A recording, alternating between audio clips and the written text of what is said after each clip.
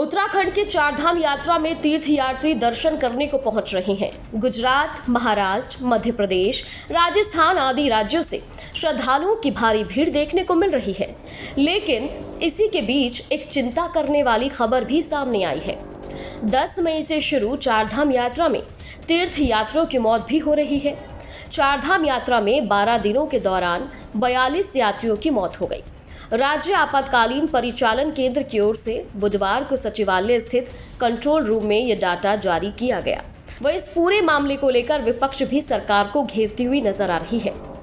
राज्य आपातकालीन परिचालन केंद्र के बुलेटिन के अनुसार कपाट खुलने के बाद अब तक केदारनाथ में सबसे ज़्यादा 19 तीर्थयात्रियों की मौत हुई है।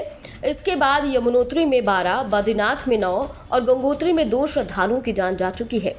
इस संबंध में स्वास्थ्य विभाग के अफसरों का कहना है कि यात्रा के दौरान जान गंवाने वालों में अधिकांश बुज़ुर्ग और पहले से किसी बीमारी से ग्रसित लोग थे। हालाँकि यात्रा से पूर्व तीर्थ यात्रियों की स्क्रीनिंग की जा रही है। विभाग के अनुसार करीब डेढ़ लाख श्रद्धालुओं की अभी तक स्क्रीनिंग कराई जा चुकी है। स्वास्थ्य विभाग हमारे चारधाम यात्रियों की स्वस्थ, सुखद और सफल यात्रा के लिए प्रतिबद्ध है। यात्रा रूट पे हमारी परमानेंट और टेम्परेरी चिकित्सा इकाएँ हैं, जिसमें हमारे ट्रेन डॉक्टर्स और स्वास्थ्यकर्मी सेवा देने के लिए प्रतिबद्ध हैं। इसके अलावा बेस कैंपों में और यात्रा के मुख्य मार्ग में हमारे द्वारा स्क्रीनिंग की जा रही है। लगभग अभी तक हमारे जितने कर्मियों द्वारा एक लाख दस हज़ार आज की डेट में स्क्रीनिंग हो गई है, जिसमें लोगों की ब्लड प्रेशर की शुगर की जाँच की जा रही है और उन्हें प्रिकॉशन के बारे में बताया जा रहा है। चारधाम यात्रा पर आने वाले हर श्रद्धालु के लिए पंजीकरण अनिवार्य है। मुख्य सचिव राधा रतूड़ी ने सभी राज्यों के मुख्य सचिवों को पत्र जारी करते हुए यात्रा में व्यवस्था बनाने को, सहयोग करने को कहा है कि सभी राज्य अपने यहाँ पंजीकरण होने के बाद ही यात्रा शुरू करने का प्रचार प्रसार करें, ताकि श्रद्धालु बिना पंजीकरण के अपने राज्य से रवाना न हो।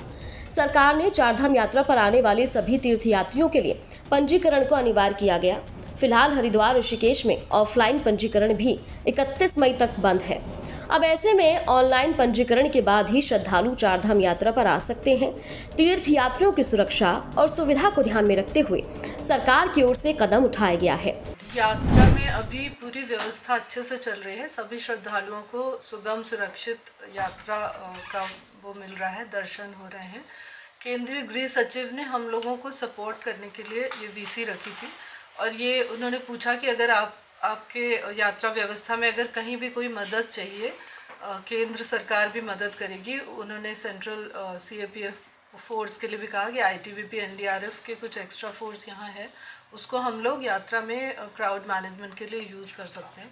वहीं इस पूरे मामले को लेकर उत्तराखंड कांग्रेस के पूर्व प्रदेश अध्यक्ष गणेश गोदियाल ने धामी सरकार से चारधाम यात्रा प्राधिकरण के लिए सर्वदलीय बैठक बुलाने की मांग की है। गणेश गोदियाल ने आरोप लगाया है कि सरकार ने यात्रा के शुभ अवसर को कुप्रबंधन के चलते समस्या में बदल दिया। इस बार सरकार कुप्रबंधन के चलते यात्रा के पहले पखवाड़े में ही ये शुभ अवसर समस्या में बदल गया। यमुनोत्री यात्रा रूट पर प्रशासन को धारा एक लागू करनी पड़ रही है। उन्होंने कहा कि यात्रा की मुश्किलों के बावजूद मुख्यमंत्री और पर्यटन मंत्री चुनाव प्रचार में व्यस्त हैं। इधर यात्रा कुप्रबंधन के चलते देश भर में उत्तराखंड की छवि खराब हो रही है। गोदियाल ने कहा कि खुद उन्हें कई लोगों ने जगह जगह फंसे होने की सूचना दी।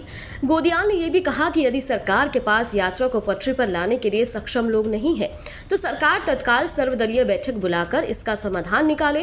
विपक्ष राज्य हित में इस काम में रचनात्मक सहयोग देने को तैयार है।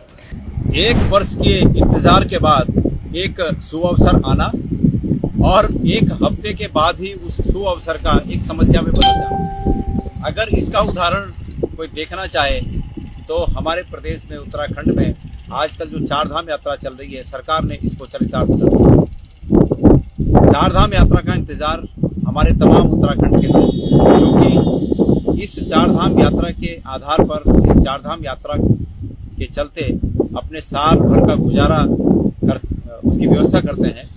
बड़े बहुत ही खुशी के साथ इसका इंतज़ार करते हैं। लेकिन एक हफ़्ते भी अभी नहीं बीता और जब से यात्रा प्रारंभ हुई है, सरकार की बद इंतजामी के चलते यात्रा, पूरे यात्रा की व्यवस्था पर प्रश्न चिन्ह लगा हुआ है। और आज ये यात्रा जिसका की इंतज़ार एक साल से लोगों को था, बड़ी खुशी के साथ इसका स्वागत हम सब लोगों ने किया। आज एक पखवाड़े में, ये एक इतनी बड़ी समस्या के रूप में सरकार ने इसको बना दिया है। वहीं बीजेपी की माने तो गणेश गोदियाल अपना मानसिक संतुलन खो चुके हैं इसलिए इस तरह की बात वो कर रहे हैं। देखिए गणेश गोदियाल जी का मुझे लगता है मानसिक संतुलन धीरे धीरे ख़त्म होता जा रहा है क्योंकि वो अपनी हार नहीं पचा पा रहे हैं जो इनको ये पता है कि वो वहाँ से पौड़ी से बहुत अंतर से हारने वाले हैं।